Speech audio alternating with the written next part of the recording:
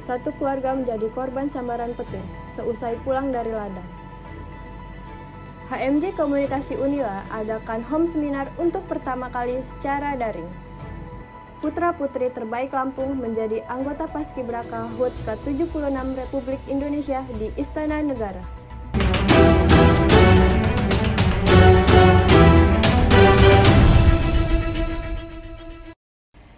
Selamat siang pemirsa, kembali lagi bersama saya Alivia Faiza Putri dalam Reportasekom.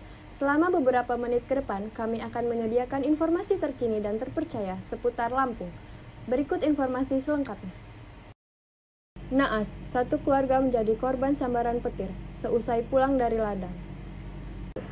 Cuaca yang cukup ekstrim di wilayah Lampung beberapa bulan terakhir menyebabkan satu keluarga di Natar, Lampung Selatan, menjadi korban karena sambaran petir. Satu keluarga ini merupakan warga Dusun Candimas Induk 1, RT 5. Tiga dari enam anggota keluarga meninggal dunia, sedangkan tiga anggota keluarga lainnya mengalami luka bakar. Kejadian ini bermula saat keluarga tersebut pulang dari berladang, kemudian turun hujan deras. Lalu mereka berteduh di sebuah gubuk, namun naas. Tak beberapa lama, petir menyambar gubuk tempat mereka berteduh. HMJ Komunikasi Unila adakan home seminar untuk pertama kali secara daring. Webinar dengan tema Self Improvement Find the Biggest Priority in Your Life yang diadakan oleh Himpunan Mahasiswa Jurusan Ilmu Komunikasi Universitas Lampung pada Sabtu 21 Agustus 2021.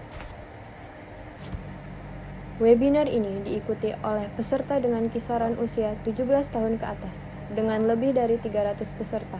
Tujuan diadakannya webinar ini untuk membantu remaja dalam menentukan prioritas utamanya agar kehidupan menjadi terarah. Kegiatan ini diisi oleh dua pemateri, yaitu Moh Johan Pratama yang merupakan psikologi dan dosen Universitas Lampung, dan Ahmad Zain Fahmi sebagai Mental Health Promoter dan Project Officer, serta Niko Anggayu sebagai moderator pada webinar ini. Meskipun diadakan secara daring, namun hal ini tidak meruntuhkan semangat para peserta. Acara ini diikuti dengan antusias oleh semua peserta webinar. Cakupan peserta webinar ini juga sangatlah luas. Putra-putri terbaik Lampung menjadi anggota Paskibraka HUT ke-76 Republik Indonesia di Istana Negara.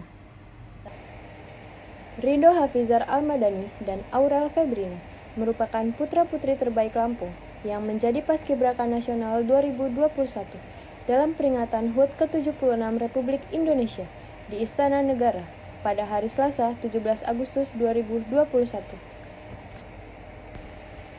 Keduanya masuk dalam tim 8 yang merupakan tim inti dalam proses pengibaran sang sangka merah putih di hadapan Presiden Joko Widodo. Rido merupakan petugas pengerek bendera, sedangkan Aurel sebagai pengiring pembawa bendera. Mengenal lebih dekat, Rido Hafizar Almadani merupakan salah satu siswa di SMA Negeri 1 Kalirejo, Kabupaten Lampung Tengah, yang lahir pada 22 Januari 2005 di Kalirejo, Kabupaten Lampung Tengah. Berpikir sebelum melangkah merupakan moto dalam hidupnya.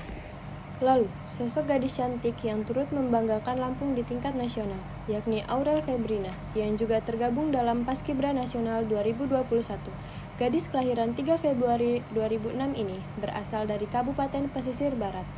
Tak kalah dengan Rido, Aurel pun memiliki moto hidup, berani keluar dari zona nyaman. Aurel merupakan siswi dari SMA Negeri 1 Pesisir Selatan, Pesisir Barat. Putra-putri kebanggaan Lampung ini ternyata memiliki kesamaan cita-cita, yaitu sebagai polisi. Pemirsa, berita prestasi Lampung tadi sekaligus menutup kebersamaan kita pada reportasekom kali ini. Saya, Alivia Faiza Putri, mewakili seluruh kru yang bertugas mengucapkan terima kasih dan sampai jumpa.